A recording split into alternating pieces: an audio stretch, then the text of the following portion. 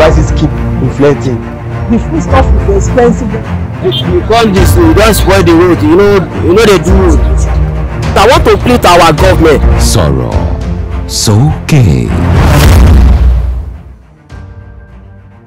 In a recent report, the federal government said it was putting measures in place to ensure further reduction in the cost of liquefied petroleum gas. The development forced some LPG users to shift to charcoal or firewood as consumers of the commodity raised their alarm over the persistent hike in its price. Today, with the absence of regular electricity supply, this cooking gas, also known as LPG, as well as kerosene, are the major sources of cooking fuel for many Nigerians. In wake of this development, there was an alarming increase in the price of this cooking gas. As Nigerians living around Iwaya axis, Lagos mainland local government, speak on today's episode of Sorosoke, stating emphatically that the inflation has continued to contend with the rising cost of making meals, either at home or commercial food vendors, going by the latest price of cooking gas. gas was one thousand six before e increase to one eight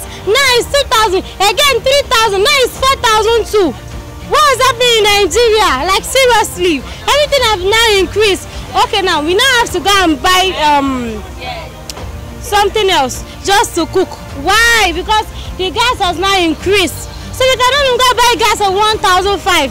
Our vex now carry one five go give um, gas man and buy gas because every everywhere is now everything is now cost. èròǹgbà tá à ń ta kìíní sí? seven thousand eight hundred ni. So gbogbo price ayé ń gbà yẹ ó wà ṣípà so mo dẹ̀ ń fẹ́ kí ìjọba bá wa pèrò sí kó bá wa wá kó wálẹ̀ so kó má máa pa èèyàn lára torí tí nǹkan bá wà kí gbogbo wa kọ́ ni a wà ní ìrẹ́pọ̀ tí gbogbo ọwọ́ wa dọ́gba so tó bá wálẹ̀ so inú èèyàn á dùn ní nǹkan bá wa wá nǹkan ṣe sí. Right now, the price of gas is too high, and it's uh, almost beyond the, the, the, hand- the reach of a common man. And the reason they gave us is because the government added VAT to the, the importation of uh, gas, uh, LPG gas in Nigeria. So it has become a standoff between the LNGP and the government to remove the VAT that is added in the gas.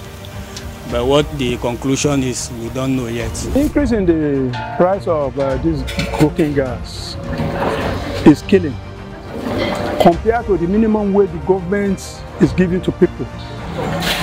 There is no increase in the minimum wage. There is increase on this gas. Likewise, there is increase in the tariff of the electricity. How are we going to cope? The government are trying, fine, but they don't consider the masses.